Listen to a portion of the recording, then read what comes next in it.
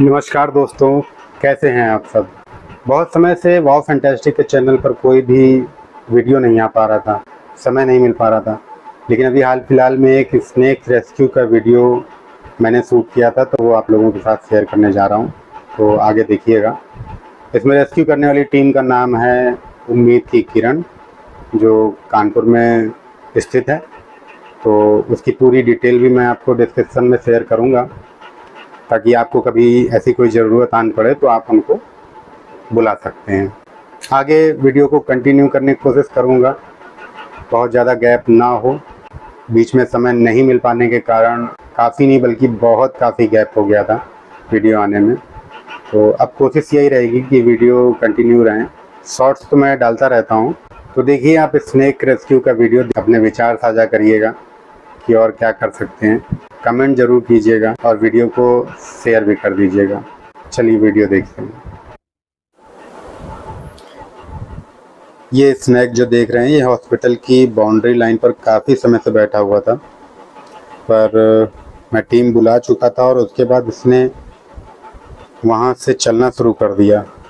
तो फिर मैं इसके पीछे पीछे चलता रहा ये देखने के लिए। कि जब टीम आएगी तब इसकी आखिरी लोकेशन क्या होगी, जो मैं टीम के साथ शेयर कर सकूँ।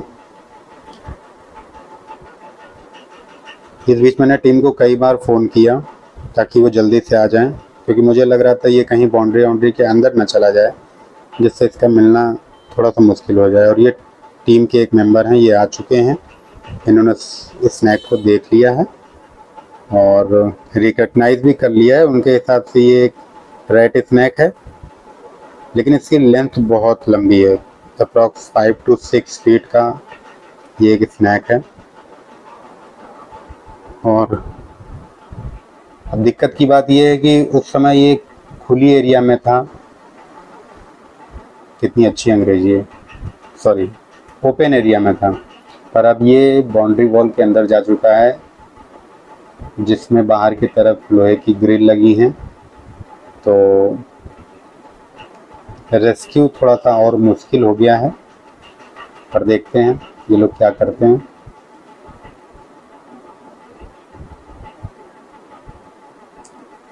इस बीच कोशिश यही हो रही है कि वो और कहीं जाने ना पाए।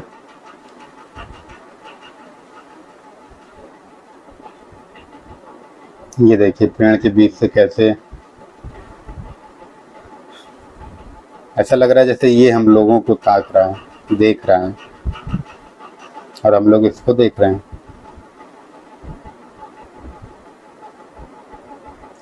लेंथ देखिए आप, कितनी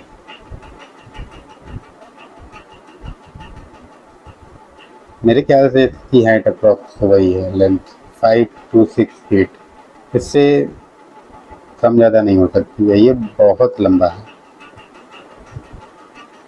और ये बाकी टीम के मेंबर भी आ चुके हैं और इन्होंने भी स्नैक को देख लिया है।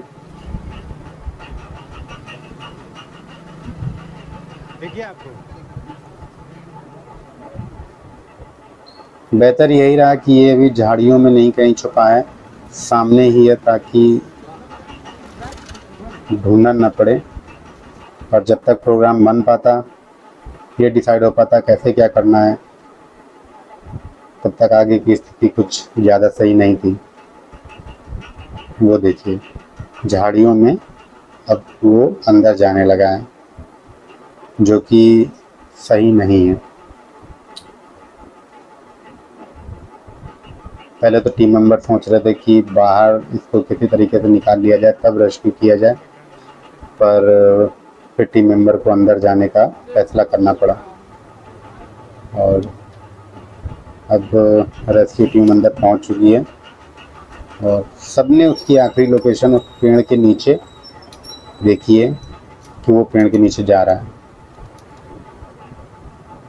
लेकिन जब ढूंढना शुरू किया गया तो भाई वो मिल ही नहीं रहा था।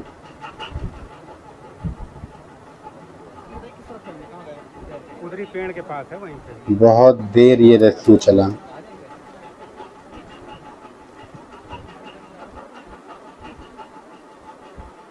अब उतनी ही जगह पे उसका उसकी सर्चिंग की जा रही है, पर वो तो ऐसा लग रहा है जैसे विलुप्त हो गया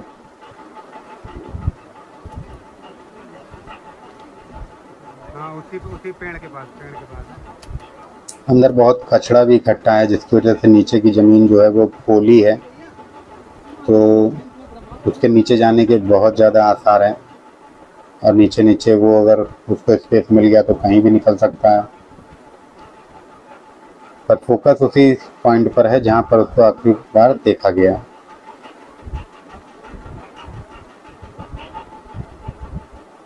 दीवार के नीचे कुछ ओपन एरियाज़ जो पानी निकालने के लिए बने होते हैं, वो पाए गए, जिसके बाद टीम को लगा कि ये अब बाउंड्री वॉल के अंदर जा चुका है।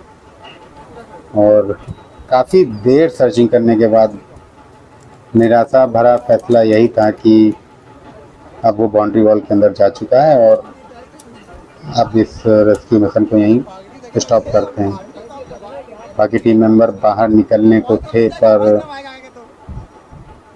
एक मेंबर फिर भी अंदर लगा हुआ था। वो अभी आप देखेंगे। और जाते जाते उसकी नज़र फिर स्नैक पर पड़ गई और उसने बाकी टीम मेंबर को फिर से अंदर बुलाया। और ये देखिए, पहले जाली को तिरछा करके बाहर निकलने की व्यवस्था की जा रही है।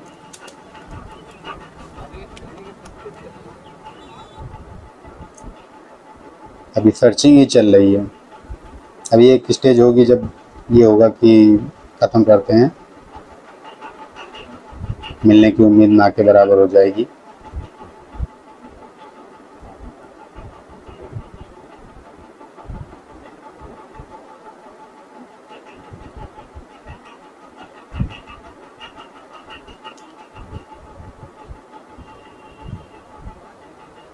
फास्ट फॉरवर्ड करके इसीलिए चला रहा हूँ ताकि वीडियो बहुत लंबा ना हो जाए, क्योंकि सर्चिंग काफ़ी देर तक चली थी।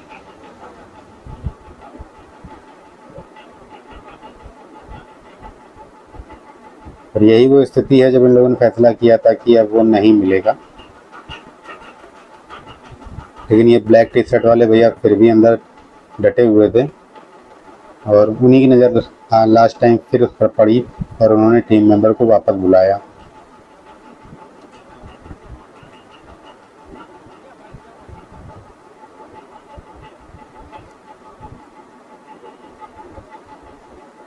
ये अब मिल चुका है और अब उसकी निकालने की कोशिशें जारी हैं, क्योंकि वो बहुत नीचे छिपा हुआ है।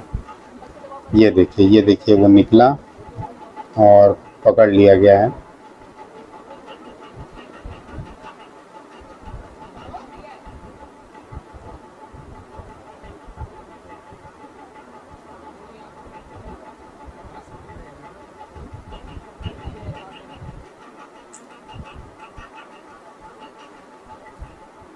चलिए, ये रेस्क्यू कंप्लीट हो चुका है, अब इसे बाहर निकालना रह गया है। तब तक आप लोगों से एक बात कहूँगा कि आपके क्षेत्र में भी ऐसी कई रेस्क्यू टीम होती हैं। आप गूगल कीजिए या संभ्रांत लोगों से बातचीत करके उन तक पहुँचिए और ऐसे जीव जंतुओं को मारने की बजाय उनके उनके स्थान पर सुरक्षित पहुँचाया जा सके। अभी इसको कलेक्ट करने के बाद, इस टीम मेंबर के एक सदस्य, आप लोगों से कुछ ऐसी ही रिक्वेस्ट करते नज़र आएँगे।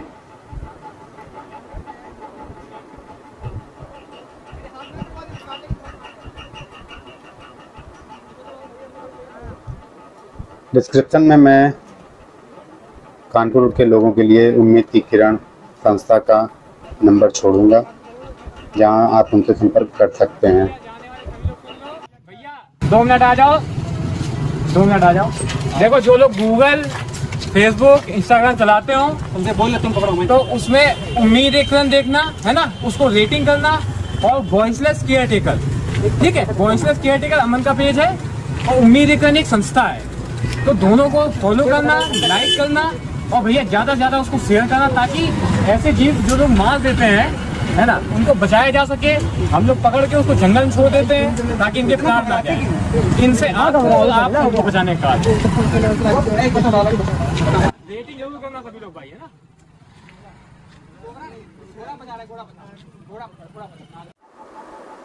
इन जीवों के लिए कुछ और कर सकें या ना कर सकें पर इतना तो कर ही सकते हैं कि इन्हें जीने का अधिकार दे सकें ऐसी संस्थाएँ इसमें हमारी आपकी मदद करती हैं।